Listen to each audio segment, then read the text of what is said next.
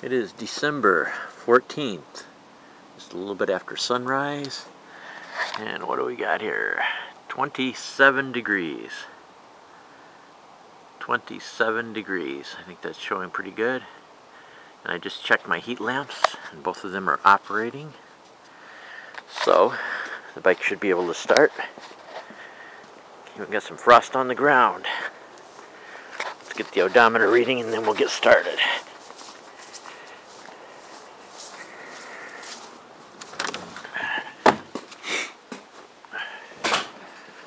Be any problem of it starting up today. Okay, let's see. I don't think I'll need a light. I think you should be able to see that. Oh yeah.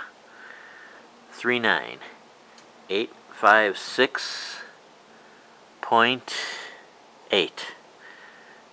39856.8. My topic for this ride is audio hum. Now back in my day when we set up audio equipment like stereos and speakers and things like that, you were constantly fighting to try to get rid of that 60 hertz hum produced by the power lines. And I imagine in other countries that had 50 hertz power lines, probably the same thing, just a little lower frequency. You're always having to deal with that introduced into your equipment, your speakers, your headphones and it was rather annoying, especially because of the fact you had tubed equipment back then, which even the tubes themselves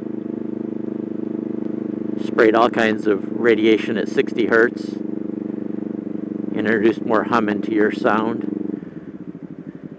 Well, now it's much better with digital recording techniques.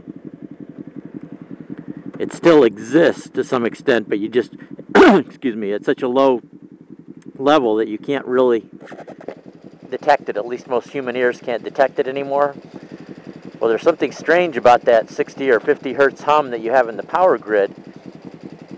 An audio engineer about 10 years ago named Dr.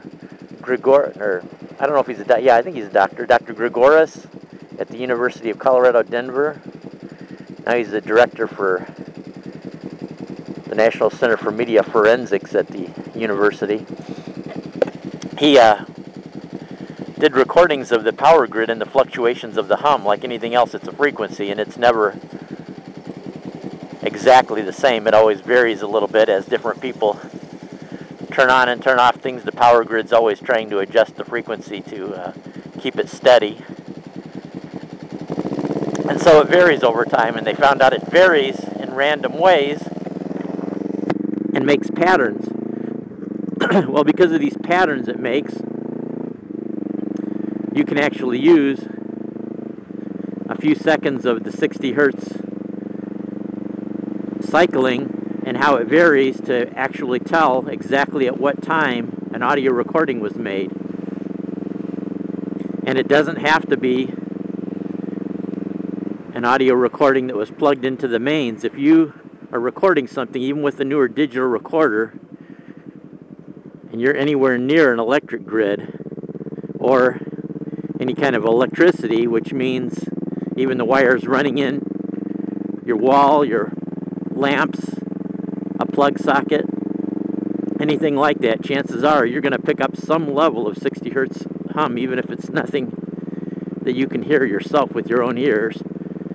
And in England, in the south part of London, they've been recording their power mains for seven years straight. And as it happens, the whole country of England just has one set of power mains. So they don't have to uh, do but just one recording that covers pretty much the whole country. And then because of that anybody that makes a sound recording anywhere in England and if you're anywhere near any source of power whatsoever they can take a recording and find out exactly when you made that recording and the other thing about it is they can also figure out if that recording's been altered. In other words, if you splice together sections of a recording to try to make it something other than the exact original recording, then all of a sudden the timestamps from the hum and the power grid don't match up. You've got multiple, uh, they call them profiles. And obviously, if a recording is made continuous for, say, 15 20 minutes, the profile of your recording matches up exactly with the cycling of the power grid. So I'm guessing the only way you could get around this would be you'd have to make your recording somewhere with batteries way away from any source of power grid or lines. I mean, as you see, most of us, unless we live way out in rural areas, there's you, you can see there's power lines around here. As a matter of fact, around my house, there's two sets of power lines and transformers within all of them less than 100 feet of my house. So I would say you'd have to come up with some really good shielding to your recording device, maybe a wrap it in some kind of aluminum foil or something like that, but you'd still have to leave an opening for the sound to be able to get in. So I don't know if you could even mask it enough there, but evidently the 60 hertz can be at such a low audio level and they can still pick it out. So I don't know if you could even successfully do that. And they used it in a case in England where they were making a bust of illegal arms sales and the defense for the people accused of making the sales claimed that the police had altered the audio recordings and spliced together recordings to make it out of context.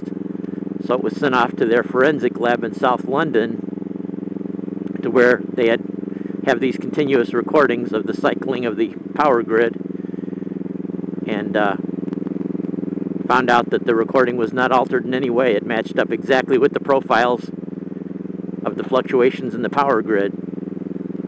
So ended up didn't make a good case for the defense. They were uh, blown out of the water and they ended up getting convicted. And I think one of the guys got like over 30 years time. so I'm just thinking that's kind of unusual, something like that that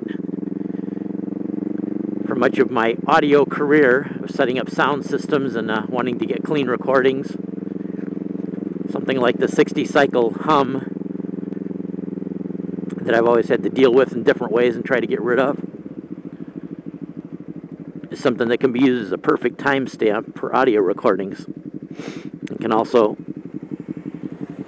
give you an idea if the recording has been altered or not.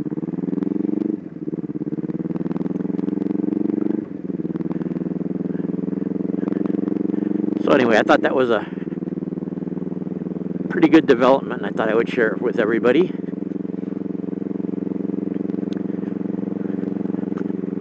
I think I'm well past my three minutes, and probably knowing me, it always tends to come out when I start talking about stuff I hardly ever have a video turn out less than seven minutes or so. So I guess I will call it here and then give the last part for the odometer reading when I get back home.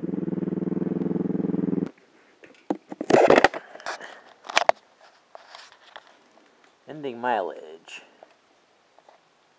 Get that glare out of there. 39863 point. I think that is that a one? I can't tell. Yeah, I think we'll call it 39863.1.